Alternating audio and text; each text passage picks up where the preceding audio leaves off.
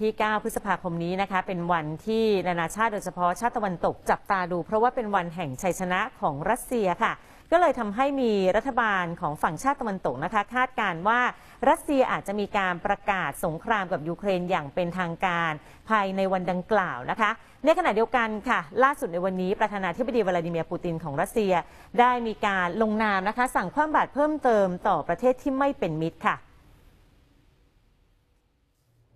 วันที่ 9 พฤษภาคม ซึ่งเป็นวันแห่งชัยชนะของรัสเซียเพื่อรำลึกถึงการเอาชนะกองทัพนาซีเยอรมนีในปี 1945 แต่ว่าเจ้าหน้าที่ชาติตะวันตกหลายคน มองว่ารัสเซียอาจใช้วาระเชิงสัญลักษณ์ที่สำคัญนี้ ประกาศสงครามอย่างเป็นทางการกับยูเครน เพราะประธานาธิบดีปูตินของรัสเซียเคยกล่าวไว้นะคะว่าหนึ่งในเป้าหมายที่ส่งทหารไปยูเครนก็คือการปราบปรามลัทธินีโอนาซีในยูเครน นับตั้งแต่วันที่ 24 กุมภาพันธ์ที่ผ่านมา ผู้นำรัสเซียและรัฐบาลรัสเซีย ยืนกรานมาโดยตลอดค่ะว่า การส่งทหารไปยูเครน เป็นปฏิบัติการทางทหารพิเศษ เพื่อช่วยเหลือประชาชนในภูมิภาคดอนบาส จากการคุกคามของกองทัพยูเครน แต่ว่าเรื่องนี้รัฐมนตรีกลาโหมของสหราชอาณาจักรนายเบนวอลเลซ ได้กล่าวในรายการวิทยุของ LBC Radio เมื่อสัปดาห์ที่แล้วว่า รัสเซียอาจประกาศสงครามในยูเครน ในฐานะสงครามต่อต้านนาซี และชี้ว่าปูตินอาจประกาศสงครามในการปราศัยวันแห่งชัยชนะ เพื่ออนุมัติการส่งทหารและยุทโธปกรณ์เต็มรูปแบบไปยังยูเครนด้วยค่ะและหากเป็นจริงการประกาศสงคราม ในฐานะการปราบปรามลัทธินาซี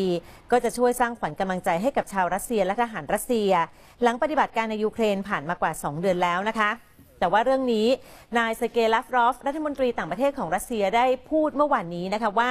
รัสเซียยังไม่ได้มีแผนที่จะเร่งปฏิบัติการทางทหารในยูเครน ให้ทันวันที่ 9 พฤษภาคมนี้แต่อย่างใดค่ะขณะเดียวกันวันนี้สำนักข่าวอาทีของรัสเซียรายงานนะคะว่าประธานาธิบดีปูติน ได้ออกมาตรการเศรษฐกิจรอบใหม่ เพื่อตอบโต้การคว่ำบาตรของนานาชาติแล้วค่ะ โดยเว็บไซต์ของทำเนียบเครมลินระบุว่า